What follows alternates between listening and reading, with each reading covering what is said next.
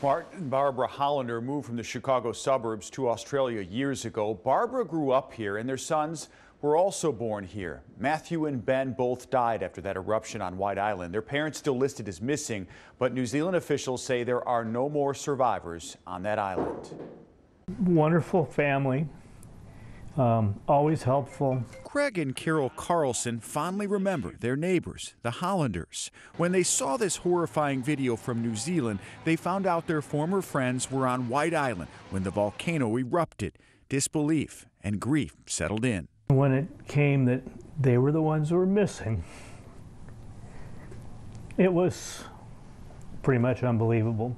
Brothers Matthew, 13, and Ben, 16, died at a hospital. The boys loved to play sports, especially with their father. He'd be out there playing ball with them, oh, or was doing some sporting activities. They were boys were very young at the time. Tonight, Barbara and Martin are still unaccounted for, but New Zealand officials say there are no more survivors. Barbara's family saying in a statement tonight, quote, "We are together with our family grieving the loss of our loved ones. Our amazing daughter, Barbara Hollander, and our son-in-law, Martin Hollander, were a wonderful couple and parents to our grandsons. We appreciate all the support." To see a young family like that who is so vibrant and I guess the blessing is they all went together mm.